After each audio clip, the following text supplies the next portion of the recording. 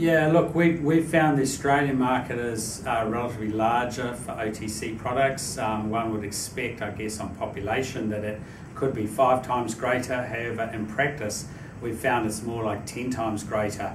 Um, we think the reason is probably because the PBS is less likely to fund low cost OTC medicines, whereas in New Zealand there are a lot of low cost OTC medicines are funded on the pharmaceutical schedule, like calcium tablets or paracetamol tablets or plain ibuprofen tablets, whereas in Australia generally the approach of the PBS has been not to fund those medicines and to look more towards funding high price, say cancer medicines and things like that. That definitely seems to make a difference um, business wise anyway.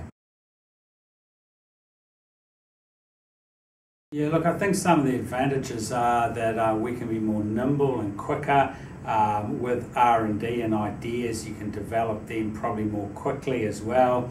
We don't have so many layers of management or headquarters overseas to um, to have to pass things to. So we can make our decisions locally uh, and we can move quickly. So yeah, I think that's actually quite an advantage, um, and it's one that we certainly use and one that we don't want to lose going forwards um, as we grow bigger.